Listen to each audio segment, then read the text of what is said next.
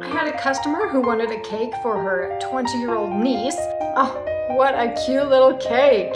Now, I'm gonna make one similar. Did you watch that shorts I made a few days ago? If not, go back and watch it, it's pretty cute. Starting with a cardboard base, I'm going to put some buttercream right down on there. For those of you who are curious, this is a tabletop pottery wheel. I love stacking and icing on it. Put that vanilla cake and put some more vanilla buttercream on the inside.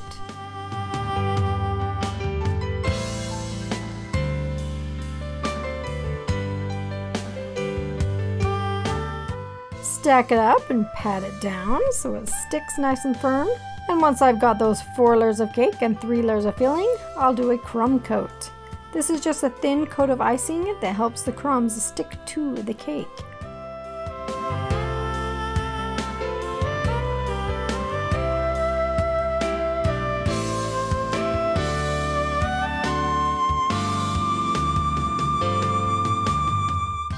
After I put the crumb coat on, I'll stick it in the fridge. About 30 minutes later, I take it out of the fridge and put a thick layer of beautiful light pink buttercream. I really don't do cake for customers very often, but sometimes I get friends and family who need one, and I'm happy to bake a real cake for them.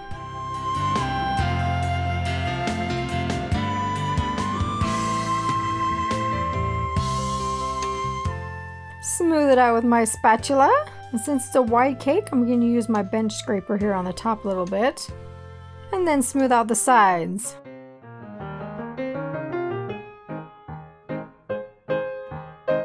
Oh, there is a gap at the top. You fill that in with a little icing.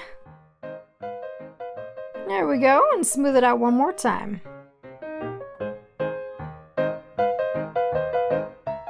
I'll use this little corner tool to make it nice and smooth. It's just a piece of mylar folder that I've cut out. I do have a tutorial if you'd like to see that. The first piping tip I'm going to use is a T05. It is a large star tip.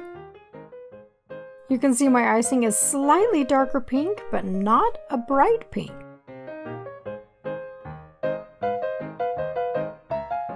I'll put those big shells all around the base. Moving to my next tip, R80. It's kind of like a ruffle tip. I've only used this once before. It makes beautiful ruffles, but I find that it's kind of hard to use. It's like it doesn't come out the tip very well. But the ruffle end is beautiful, so it's a good thing I'm going to be piping over that top part.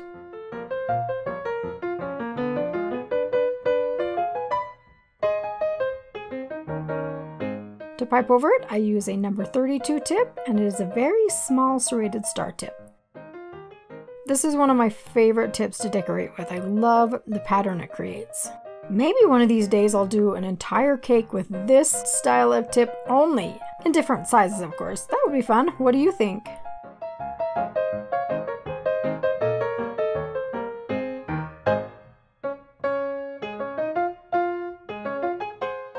I got those three layers down below, and I'm marking the cake where I want to make these ruffle swags. Again, using this unique ruffle tip. Oh, I am not doing that very well. I'm not sure what happened here. Either I kicked the camera or my son kicked the camera, but uh, this is the next footage. Sorry you missed the rest of those ruffles. Switching back to the number 32 tip, I'm outlining the top of those ruffles. When the customer came to pick up this cake, she was just thrilled and amazed at how beautiful it was. In fact, when she asked me to do the cake, she said, Do what I do best. And of course, I love piping, so I did a piped cake. So I have a tilt and turn cake table. I'm tipping it a little bit so these strings will lay more nicely as I pipe them. Buttercream strings are a little harder than royal icing, but I'm going to try to get them as smooth as possible anyway.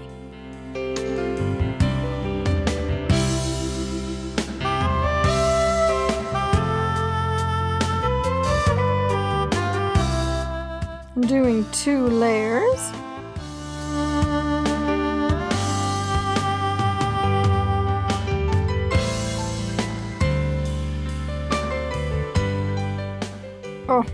Did not work out. I'm using my paintbrush to fix it just a little bit. Then moving to a smaller star tip, number 18. I'm going to create a few little shells here. I don't know what that's called, a little fleur-de-lis. Fleur-de-lis are a little more elaborate. Pipe a few of those around the cake.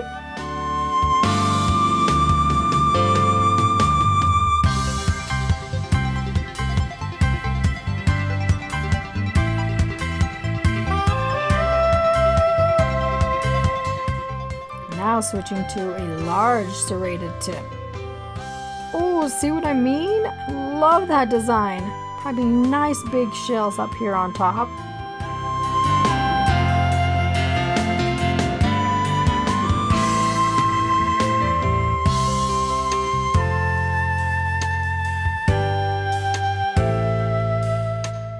So for these little scrolls around the edge, I'm using a number 21 star tip. I'll pipe one going clockwise and one going counterclockwise. Sometimes I get confused at which one I'm supposed to be doing next. Guess I need to practice that stroke a little more. Makes a cute little design though, right?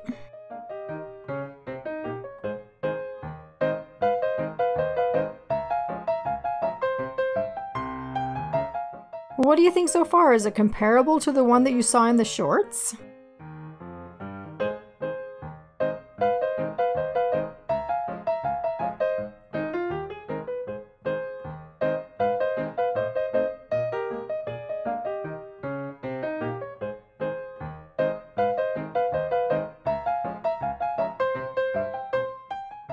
Let's do another round of shells using a number 21 tip.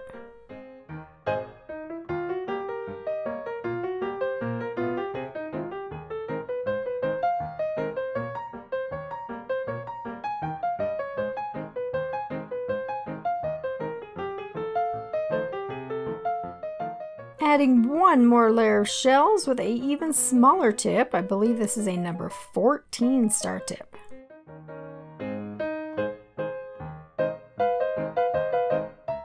I love the look of that dark pink, light pink, and then white all up against each other.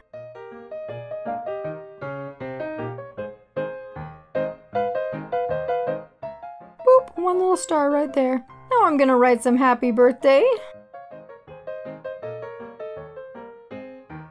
A little heart above the eye.